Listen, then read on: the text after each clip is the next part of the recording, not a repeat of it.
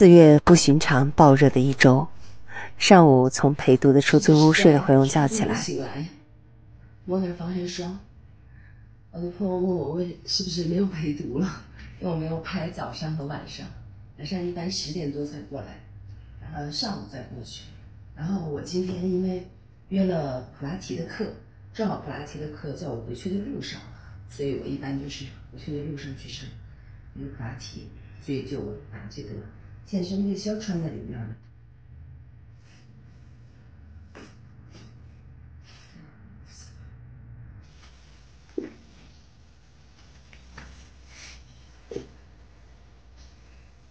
拜拜。买了一个这个背包，来回的地铁站上用，装东西特别方便。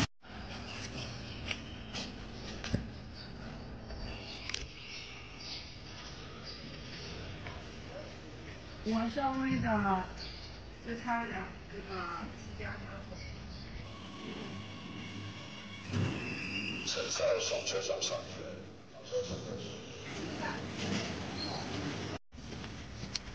Hello，嗯，我换衣服了啊。这里加下去，这儿加加加，这儿再加，所有分分开，再分分分分分。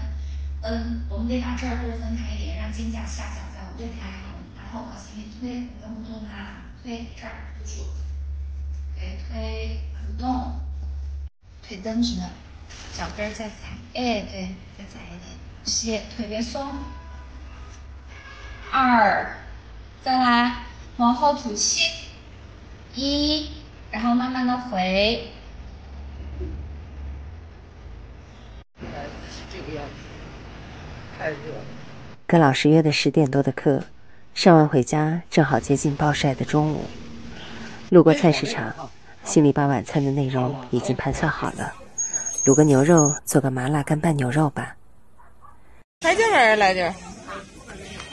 再来一瓢干嘛？好，回。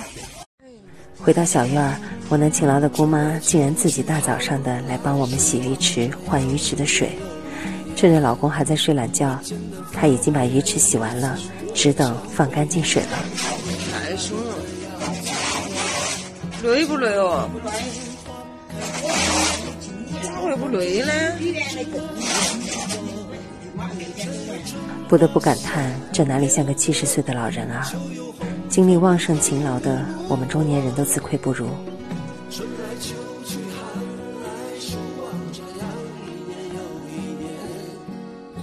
下午，老公说：“再热也要喝口茶，这是仪式感。”于是我们挪到这把大伞下，喝点清凉的白茶。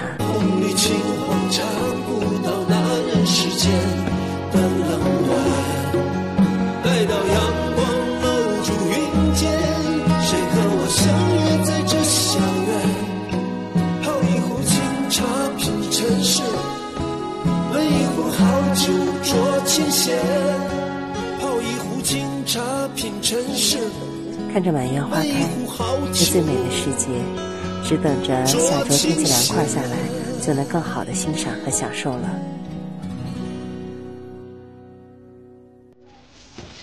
快傍晚了，抓紧时间卤牛肉。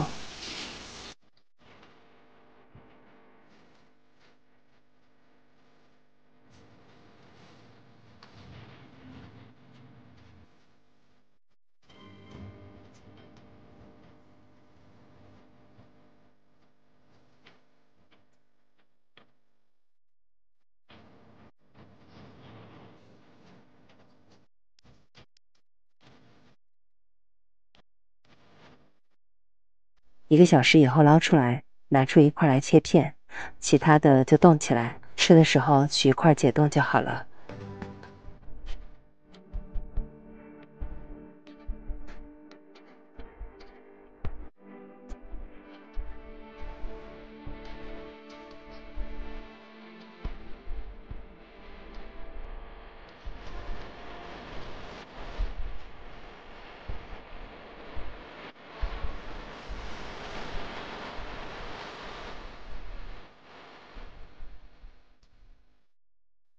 算算吃了大概有一个月的健康餐了，中间有火锅有应酬的不算，体脂这个月掉了两点多，下了二十，真是比之前一年多的锻炼还有效呢。